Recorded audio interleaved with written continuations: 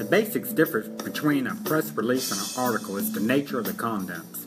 In a press release, you write about your company updates, news, events, etc. You can also self-promote yourself in the content. However, in an article, you write more informative content about a specific subject. Article submission is used to promote your product or services by writing an article and it is submitted to the various article directories. Press releases announcement, offers, special news of your company and is also published to various news publishing and press release websites. Press release is a more formal way for content, whereas in an article writing you could do with a casual approach. With my Fiverr gig, I will handle all the heavy lifting for you on your submission needs. So rest assured that your article or press release will reach your desired audience.